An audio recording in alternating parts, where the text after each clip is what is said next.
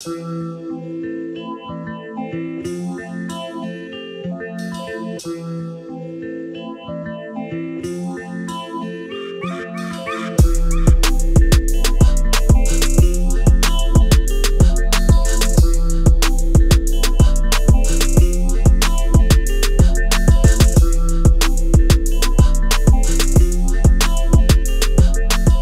are some therapeutic benefits of music? That's a, a good question. We know that music, when you listen to music, it actually taps into your brain and the chemistry of your brain, like naturally, because of the rhythm that goes there. It's like, you could be just right now.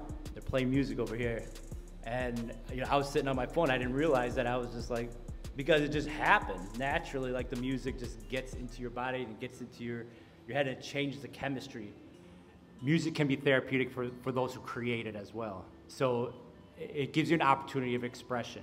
Think about like social media and how it's now so pervasive in your life. Let's take a, let's take a kid at school or, or when we were kids, you know, if, if you got in a fight with somebody or got in an argument with somebody, or if there's like a bullying experience, you know, you go home, it's over. Right. Now that's going to follow you at home because people can still interact with you. You can still see, and, and, and adolescents especially, they can't get away from their Don't compare your real life to someone's highlights.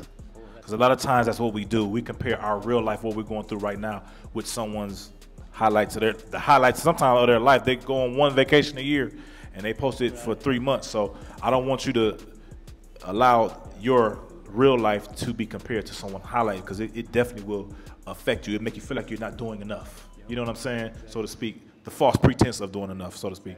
Um, uh, places or, or or programs that they may be able to reach out to to get some kind of help.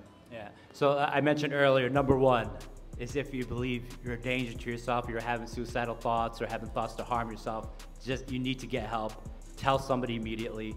They, they created a new number that's uh, nationwide, 988. You dial that number and you get emergency services right away.